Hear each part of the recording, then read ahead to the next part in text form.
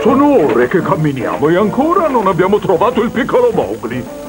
Ma si può sapere dove siamo finiti?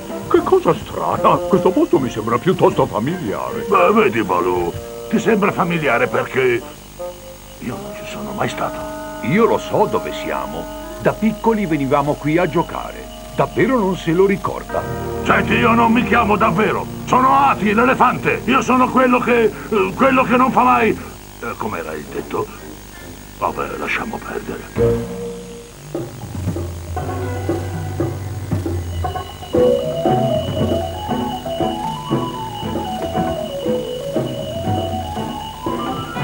Vieni dalla mia parte. Non credo proprio, signore. Dentro la bocca, giù per la gola, con una trottola farai la capriola. Aspetta, aspetta! Non vorrai mica mangiarmi! Invece sì. No, ma io lo dico per il tuo bene, i miei peli ti si incastreranno nei denti! Ma no, guarda che io non ce li ho i denti. Senti, non starai mica cercando di convincermi a non mangiarti, spero. Io? Certo che no, amico! Ma scusa, non conosci la legge numero uno della giungla?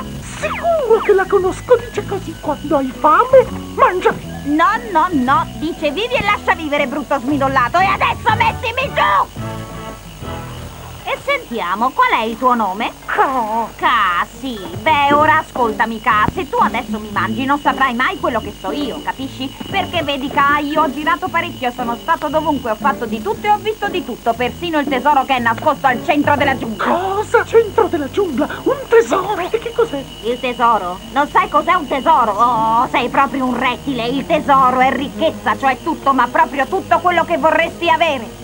Ma proprio tutto quello che vorrei avere. Esattamente, se mi mangi più tardi avrai di nuovo fame, proprio come quando mangi al ristorante cinese, quello di cui hai bisogno è il tesoro. Davvero? Ma vuoi scherzare? Lo conosci quel vecchio detto, no? Dai a un serpente un topo e lo sfamerai per 5 minuti, ma mostragli dov'è nascosto il tesoro e lo sfamerai per il resto della sua vita.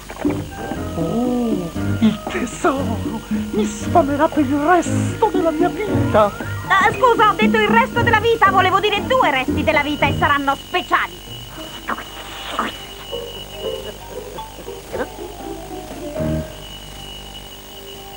Mi dispiace, ma stavolta sei mio ati ovunque ti sia nascosto.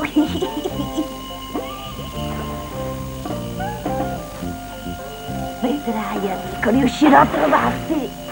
Oh!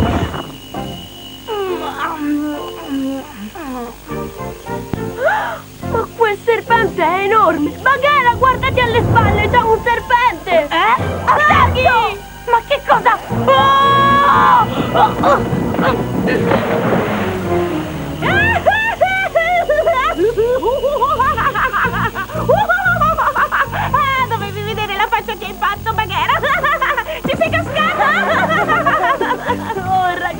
quel giochetto che hai fatto con le mani, Luigi, è stato davvero meraviglioso! Voglio dire, muriviglioso! Insomma, sei stato bravo!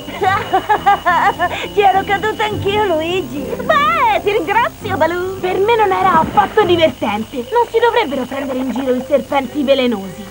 A meno che tu non voglia che il grande serpente bianco ti venga a trovare! Ah, sì, sì, sì, sì, come no, il grande serpente bianco! Eh, eh, si può sapere chi diavolo è questo serpente? Già, io non l'ho neanche sentito nominare! Sì, nemmeno io! Ma come? Lo sanno tutti chi è Bianconeve. Lui è una leggenda, è un cobra bianco dalle dimensioni gigantesche. Pensate che è largo come il tronco di un albero e lungo come un fiume. E poi è molto velenoso e infatti... Ma che? Te lo sei inventato?